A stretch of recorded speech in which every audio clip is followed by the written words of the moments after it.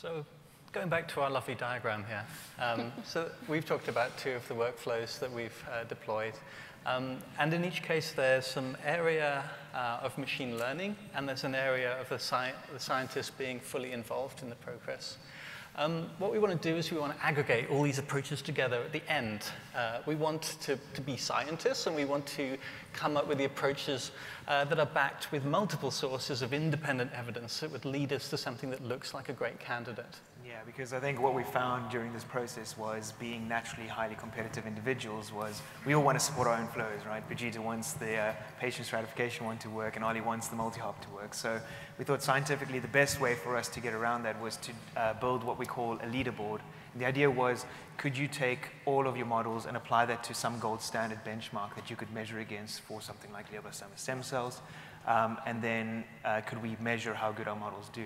Well, we actually found that uh, the best models were the ones that were aggregated together, um, and they performed the best uh, around those. So we took the targets from the models that were aggregated together, uh, and that's what we actually triaged as part of the next step. Yeah, so our, our, scientists will sit down and they, they can go through all of these lists and they, I don't know, they can sort of swipe left when they look at a gene that they don't really like the look of. He's not even joking, they literally can swipe left. Yeah, yeah. Do we have any Tinder users in the house? No? Yeah, we, we did actually build uh, a tool called Chemda, uh, which is like a Tinder for chemicals where scientists would go in and they, they would just look at a picture of a molecule, and actually some, some chemists can look at a molecule and say, no, that's not a drug, and they, just, they would just swipe it left. I'd like to say, as a product manager, I had nothing to do with that design at all. yeah. So anyway, uh, yeah, so nowadays we, we have a tool uh, where scientists can make, make more sort of refined judgments yeah, as, as to uh, what we're going to spend millions of dollars on, um, uh, with all the kind of metadata they need in order to make fair and unbiased choices. Yeah, yeah. exactly. Yeah, so it's not like just getting a target. We do get a lot of information of why the target was inferred. So like expression, a lot of things, and that gives an informed choice. It's, in the end, we do swipe left or right, but we do have information to do that. Yeah. yeah, so on the next slide. Oh, yeah, so. So, so just to, as we conclude this process, so once we have a list of ranked targets, produced from the disease sprint. We validate these experimentally in our labs in Cambridge. We have a research facility there with over 35 um, now uh, wet, wet, lab, wet lab scientists. Um, so what you see in this video is really the process of them sort of going through this experimental phase. Um, but this month now in our Cambridge research facility, we started testing the glioblastoma stem cells in a disease-relevant assay with patient-derived cells. So we do real science at Benevolent, and we're working in collaboration with leading research institutes to make sure that these experiments are as realistic as possible and that they inform the next stage of the development of these hypotheses so that we can get to designing and developing a molecule for the right patient group and to get these out of the lab and into uh, clinical trials. Yeah. yeah. So um, so the, the next thing that we need to do is we need to design the right drug to hit that target. So we talked about chemical structures and, and swiping left and right, but realistically we need to bring together all of those factors that make a good, a good molecule so that we can address the challenge of penetrating the stem cells, um, penetrating the blood-brain barrier, and ensuring that we can treat those stem cells so they don't replicate and create new tumors.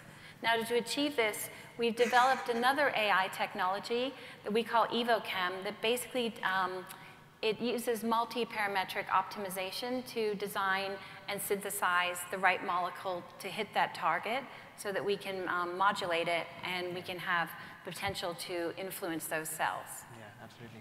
So um, that platform is what we call EvoChem, and I've got a video of it this time, not a live uh, demonstration in the background. What you can see there is, if you think about the chemical space, it is actually quite complicated. There's something like 10 to the power of 60 potential chemical structures that one could make to make a good drug. That's a massive amount. So what we did is we trained AI to understand what good chemical structures look like and how they can predict what it looks like to get through the body. And for some of those parameters, for example, blood-brain barrier penetrance.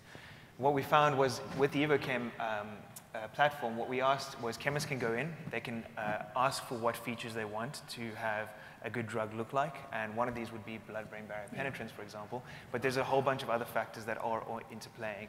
And the system will go away, look at this chemical structure, and it will provide a number of novel structures you may not have seen as a chemist before because it's in spaces your research has never taken you to. So it's kind of taking that bias away again.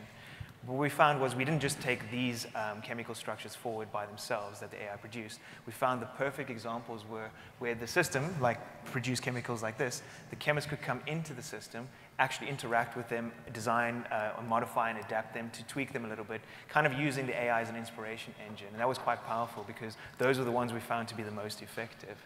What we saw as a result, uh, and a net result of this in some of our programs is you can design far fewer chemicals uh, in a much quicker space of time because you're augmenting this with massive help from the AI.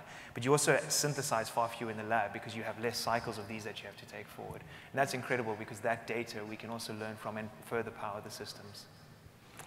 Yeah. So today we've um, taken you through the entire platform end to end from data ingestion all the way to where we have a preclinical candidate. So we've um, identified how we, how we find the right target, how we design and develop the molecule to hit that target, and then how do we define the patient population that is most likely to receive a therapeutic benefit from that drug. And that's the process end to end.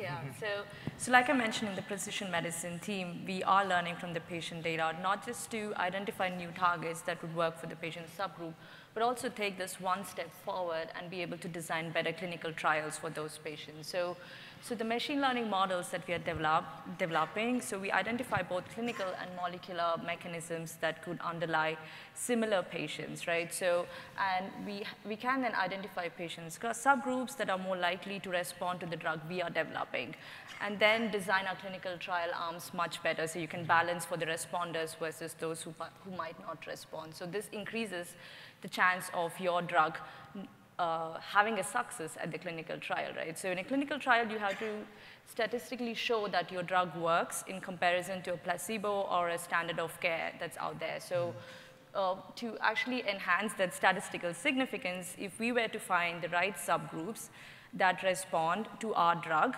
that does increase the power of the clinical trial to achieve like more success than normal clinical trial would. So there is something we could do with the machine learning models and impact the trial design here, and that's exactly what we are doing, to use the data, yeah. find those responders, find those patients, and design trials for them. So, yeah. Exactly. yeah. So just in conclusion, like this approach will help us um, find the right um, precise treatment for patients and design a clinical trial that will ensure um, greater success in that trial and more effective medicines for the millions of patients that need them.